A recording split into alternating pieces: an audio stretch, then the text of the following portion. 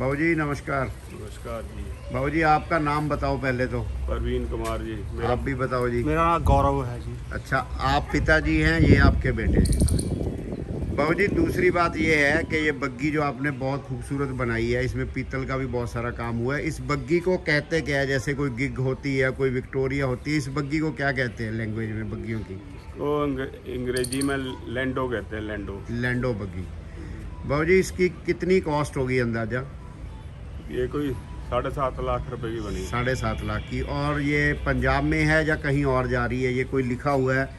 किसी रिजॉर्ट का नाम लिखा हुआ है? ये कौन सी स्टेट में जाएगी? ये बंगाल। बंगाल। किसी सिल्ली सिल्लीगुड़ी सिलीगुड़ी में कोई होटल है वहाँ रिजॉर्ट है। ओके जी। तो ये पहली बग्गी है जो आपने पंजाब से बाहर भेजी है या और भी पहले बग्गी पहले भी इससे चार पाँच बग्गियाँ भेजी हैं बना के। ओके जी। और ये आपका जो कारखाना है कितना पुराना कारखाना है बाबू जी? ये कम से कम अस्सी साल पुराना है। अस्सी साल पुराना पहले आपके पिताजी करते पहले थे? दादाजी फिर पिताजी फिर मैं हूँ मेरा बेटा नाल है। तो अच्छा एक ट्रेडिशन चली आ रही है जी। बाबू जी आज तक कितनी बग्गियाँ बना दी होगी? आप आपके पिताजी के बाद जब आपने काम संभाला जी? कुछ कह नहीं सकता सौ दो सौ तो बना दी होगी।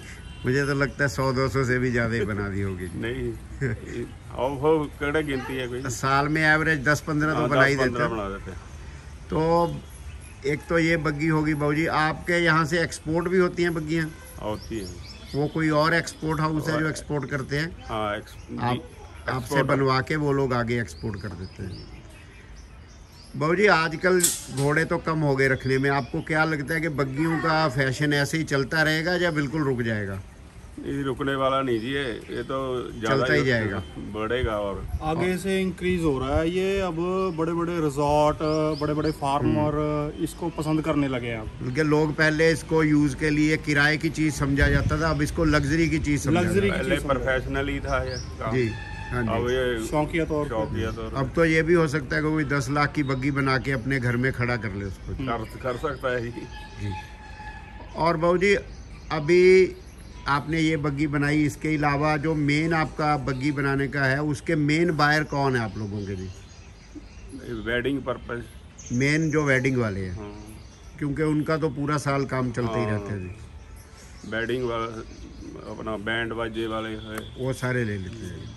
बैंड वालों के साथ अब होटल वाले भी इसमें ऐड हो रहे हैं। होटल वाले इसको अपने होटल में खड़ा करना अपने गेस्ट के लिए अपने हाँ कस्टमर के लिए। रिसेप्शन से लेके रिसेप्शन तक लेके आना पार्किंग से उन चीज़ों. की चल रही है वो चीज़ अभी ये ऐड हो रही है होटल्स में जा रही है अब ये। जी।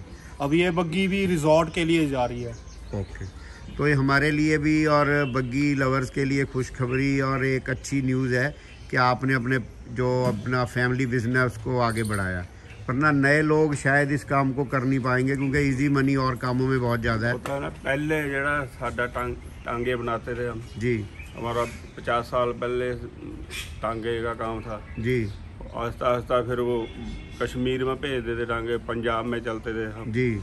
बस वो अब बंद हो गया ये काम शुरू हो गया हमने फिर यही लाइन पकड़ ली। तो एक बार लगता है कि काम शायद बंद हो जाएगा मगर नहीं भगवान और बहुत सारे रास्ते उसके लिए निकाल देते वो तो करने वाला चाहिए जी। जी। चलो बाबू जी आपका फ़ोन नंबर भी दो बोल के अठानवे सात सौ चौबीस हाँ जी। छियानवे एक सौ पैंतालीस। चलो ठीक है जी thank you and all the best आपके आने वाले बग्गी के प्रोजेक्ट के लिए। Thank you very much